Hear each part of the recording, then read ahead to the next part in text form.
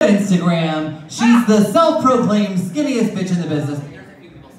And she's also the biggest drag race champion St. Louis has to offer. Make some noise for Helena Handbag!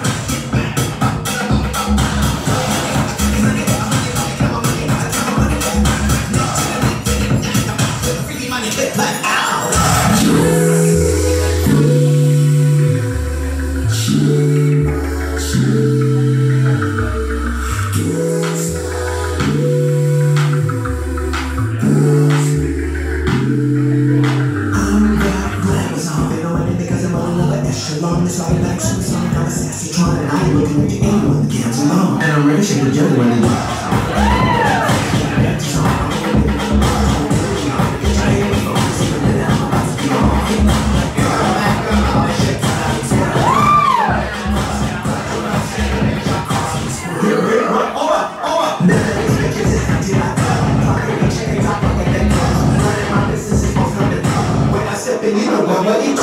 I do. None of these bitches is fine with me.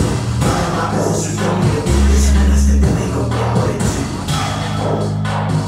When I gon' get. Yeah, bitch, you been already.